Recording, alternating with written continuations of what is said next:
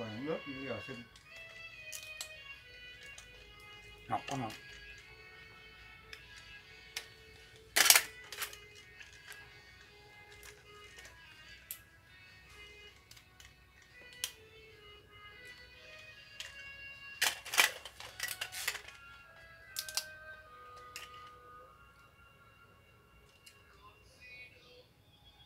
nếu gì đọc ra ta?